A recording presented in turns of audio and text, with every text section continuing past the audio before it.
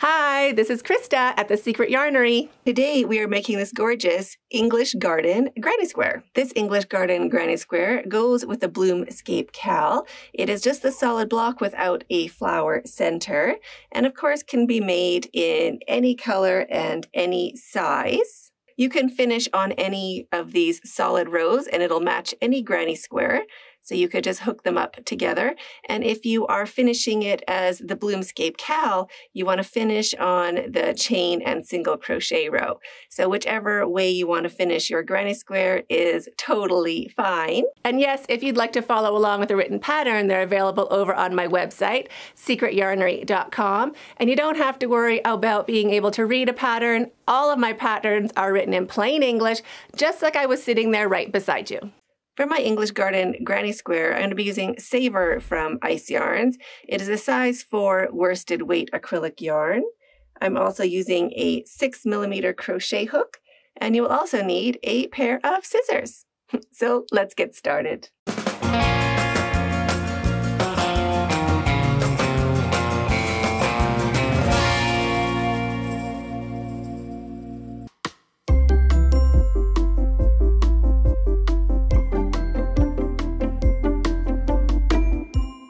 Going to start by making a slip knot any which way you normally do. Just shrink that down and pop it onto your hook. And chain three. One, two, and three. Now into our very first chain. To count your chains, you don't count what is on your hook, we just count these little V's going down. So one, two, three. We're going to go into this very first chain right there. So pop your hook in. Get your tail. We want to be holding our tail along with our work, forming a little U shape underneath the fat part of our hook. Just there, holding it open with your finger and thumb, and slip stitching to form a ring. And chain three. One, two, and three. Wrap your yarn and into that center where we're holding it open, two double crochets. So there is one and two. Our chain counts as our first double crochet, so that counts as a set of three. And chain two, one, two, wrap your yarn, and three more double crochets into the center of that ring. And we're working over our tail. We're just holding our tail along with our ring so we can work over it. So there is two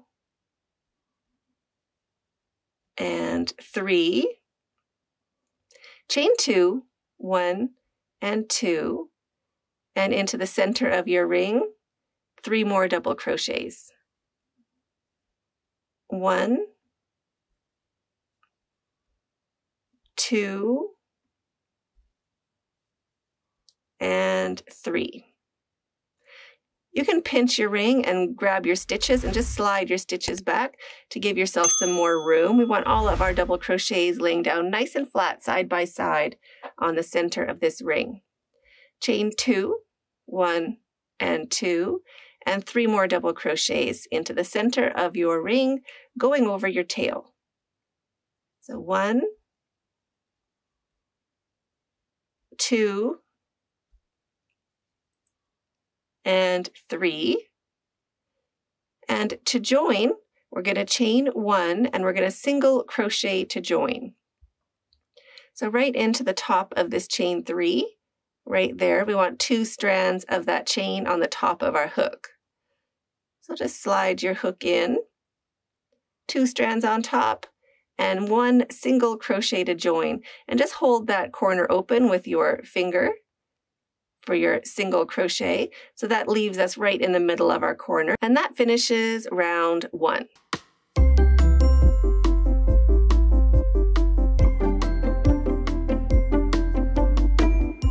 So that leaves us right in the middle of our corner. It'll hide our join and chain three. One, two, and three, and turn your work. Now into our next corner space, we're going to do one single crochet,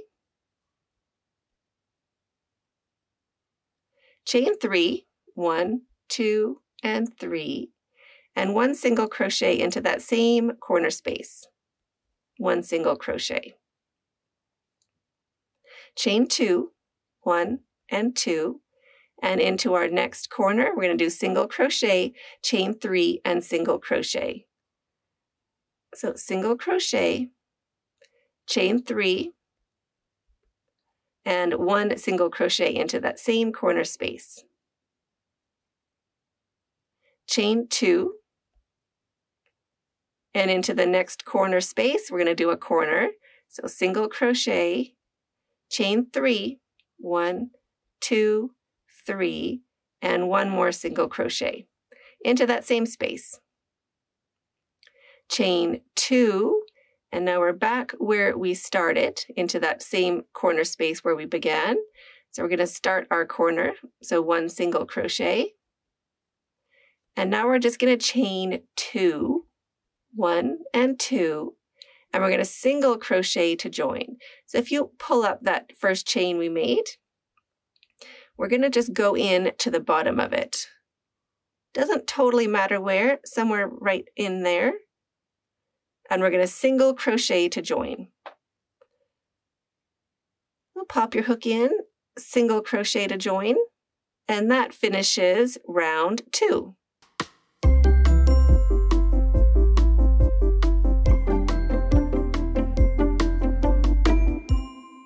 Are you enjoying this tutorial? Go ahead and hit this button under this video right now so you don't miss out on any more quick and easy fun tutorials just like this.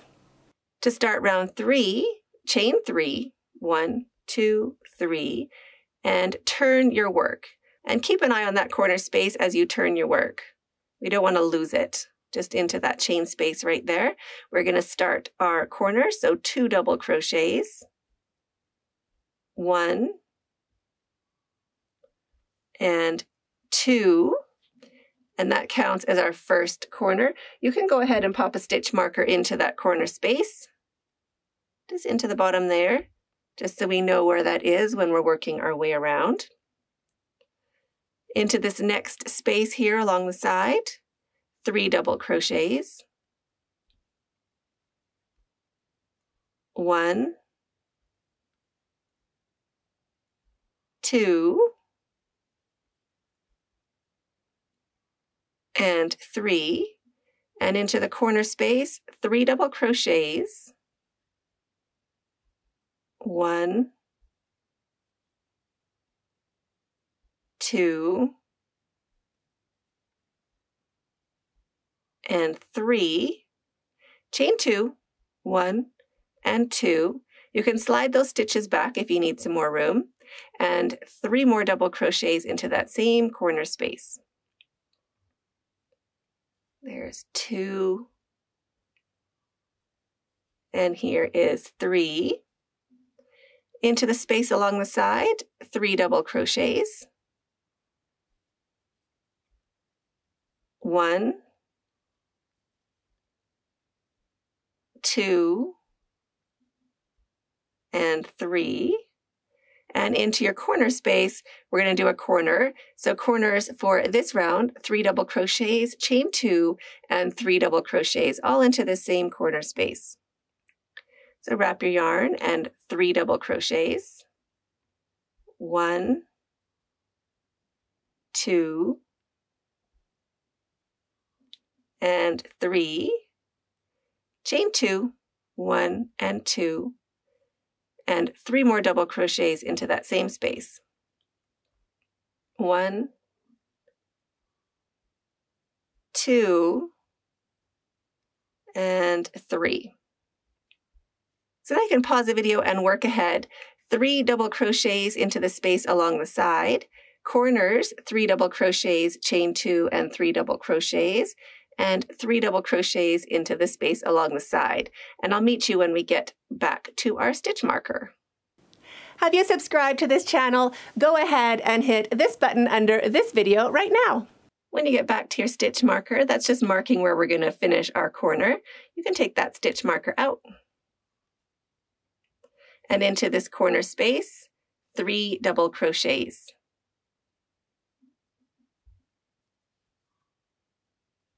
One, two, and three. Chain one, and into the top of your chain three, we're gonna join with a single crochet. So one single crochet to join, and just wiggle your fingers into that corner space to keep track of it. So single crochet to join.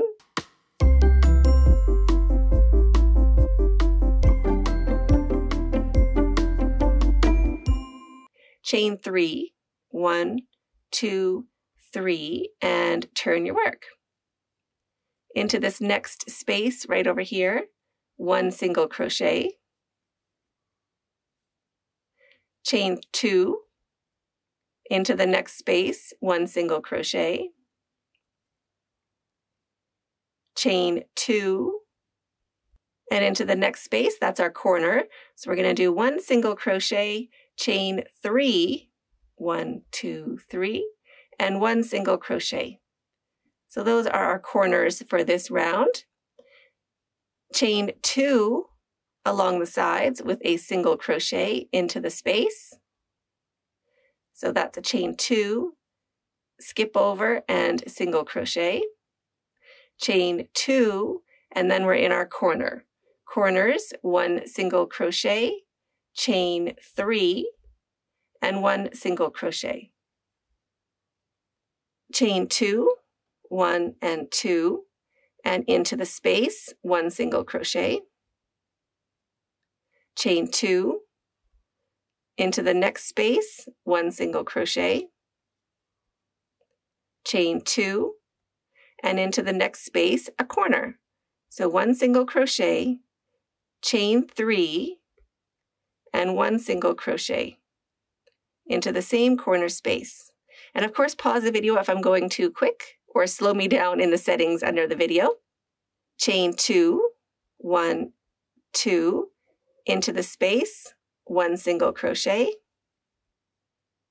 chain two, into the space, one single crochet, chain two, and into the space where we started, one single crochet. And I'm going to be continuing, so I'm going to join with a chain two, one, two, and a single crochet into the bottom of that starting chain to join. So I'm going to make my single crochet anywhere in this area, just into the bottom of that stitch. We want to make sure we have more than one strand of yarn on the top. That's the important bit. So just into the bottom of that chain. One single crochet to join, keeping track of that corner.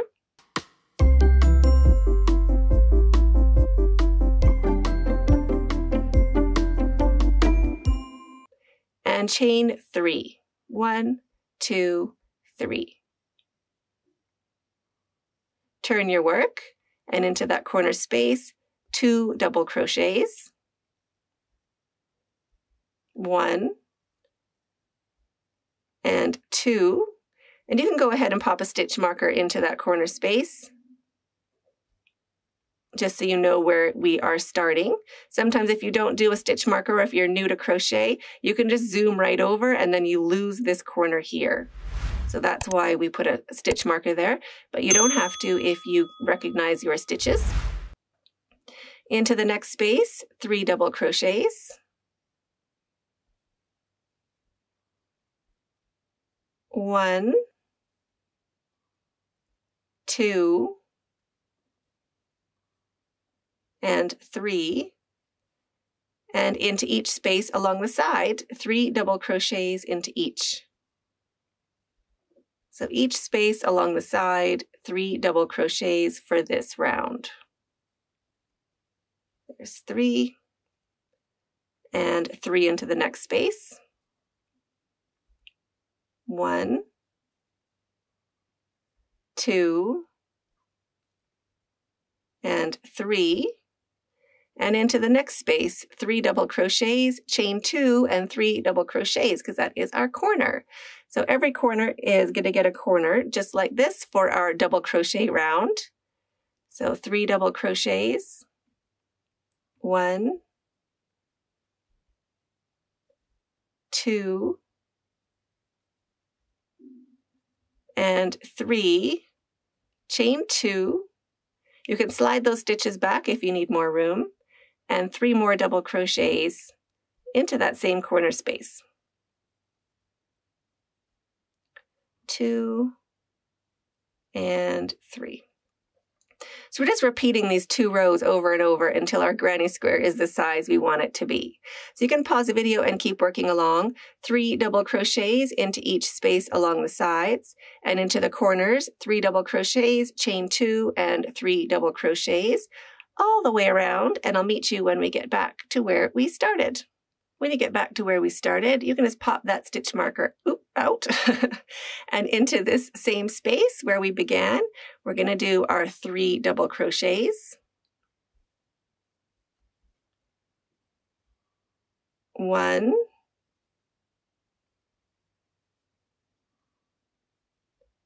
two, and three. So you can make your granny square any size you like just by repeating those two rows. If you are making it for the Bloomscape Cal, finish with that row. If you are making it to join with a granny square or other granny squares, you will end just on this row we have here, just so we can always join our granny squares into these spaces or however you're joining up your granny squares.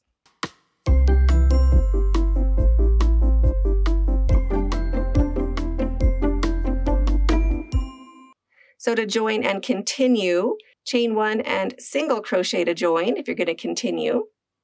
Do your chain three, one, two, three, turn your work and into the next space, your single crochet.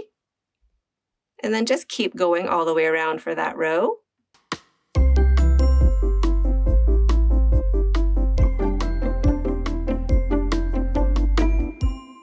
If you are going to join and end, so you are joining up and you're finished with this color or you're finished with your granny square, do a chain two, one and two, and slip stitch to the top of that chain three to join, one little slip stitch, and chain one to secure your yarn. Cut your yarn, leaving a long enough tail to sew in with a needle later. Pull your hook up and your yarn through and snug that down to secure sew in your tail, and you're finished. So I hope you enjoyed that as much as I did. I'm waiting for you in that video right there, and stay hooked.